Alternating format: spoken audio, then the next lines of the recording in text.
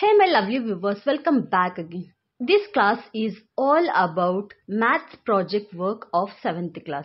Okay guys, let's start. First of all, you have to write down your name, okay, then your class that is 7th class, then name of the lesson which is exponents. So title, you have to write down very bold letter, exponent va. Then aim, learn exponents. Then objectives are through activities, understanding exponents. Material used is play cards, scale, pencil, pen, etc. Then tools are activity based project that is experiment. Then procedure. When we start working in algebra, there is another shortcut that we are going to use and see a lot of. This shortcut is called an exponents. Take play cards and arrange in the following way suppose so uh, just look at here these are the play cards. Do you all know how to play this? So just look at here.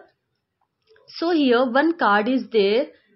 Okay 4 to the power 5 is there. So in that way we have to place it 5 times. Okay 4 to the power 5 means 4 comes 5 times.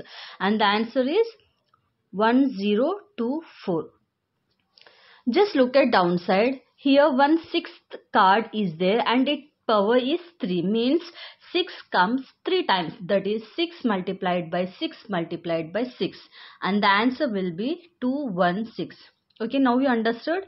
So whatever we write the number to the power anything that we have to split the times. Means 6 cube means 6 into 6 into 6 like that. Just see here this is also one very good example for you. Here base is 8 and exponent is 2 means 8 to the power 2 okay guys? Then what should be the answer? 8 into 8 8 8 64 will be the answer like that. So the main focus the main purpose of making this project of exponent is to make you a clear understanding how we can do this. Okay? So just try to note it down and please if you can just try to draw it or else you can paste it also. Okay guys? So just see 5 cube can be written as 5 multiplied by 5 multiplied by 5 okay and just see the last part here.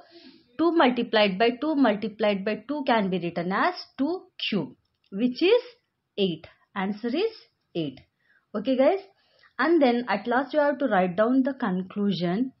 That is we can write large number in a short form using exponents isn't it? So then observation. Exponents are nothing but repeated multiplication isn't it? Exponents are nothing but repeated uh, repeated multiplications. Okay? Then experience of the student. Now here you have to write down whatever you experienced uh, by doing this project. I enjoyed in calculating experiment with play cards then doubt is if exponent contain negative exponent then how can i play with play cards acknowledge. Acknowledgement. My sincere thanks to our group members who cooperated a lot. Then second point is my sincere thanks to our math teacher. Okay? At last you have to write down the reference books or resources which is 6th class 7th class math state textbook and 7th class cbse textbook. These are all the resources from where we have collected this project work that is exponents. Okay guys so this is the end of this project. I hope you all understood.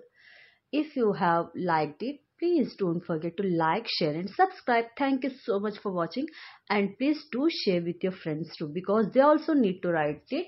So help them by sharing this video. Okay guys. Bye bye take care. Thanks. Thank you once again